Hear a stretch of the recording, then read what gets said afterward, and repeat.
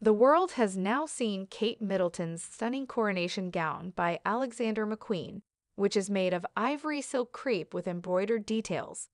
Alexander McQueen's embroidered ivory silk crepe dress was on Kate Middleton, 41, as she arrived for the coronation. The coronation of King Charles was the first such event to take place in more than 70 years. In addition to threadwork embroidery with rose, thistle, daffodil, and shamrock motifs, Kate Middleton is wearing a stunning Alexander McQueen gown. These flags represent the four countries of England, Scotland, Wales, and Ireland. Similar patterns in ivory satin stitch embroidery can be seen on Charlotte's dress.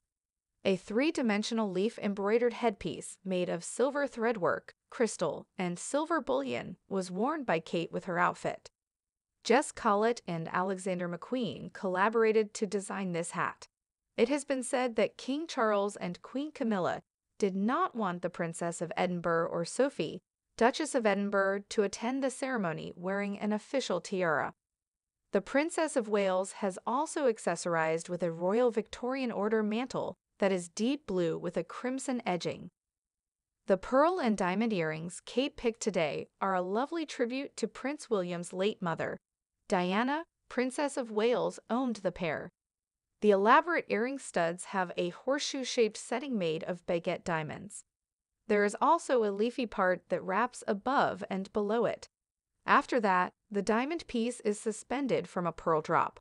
In the 1990s, Princess Diana wore the jewelry a lot, including to the English National Ballet Gala performance in Budapest in 1992, where she donned the earrings with the Spencer tiara.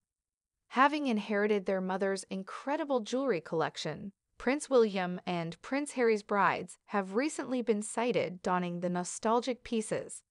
The fact that Princess Diana was in some way present at the coronation made Kate's heartfelt tribute to her today.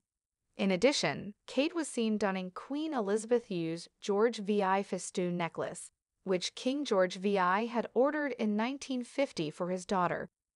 The deceased monarch's favorite necklace was a three-strand one that sparkled with 105 loose diamonds that were placed in collets.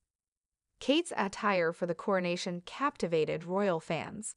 Kate Middleton is truly amazing, according to Twitter user at Jur6728. The same was said by Wales Royals, who also said, What a magnificent picture of Catherine.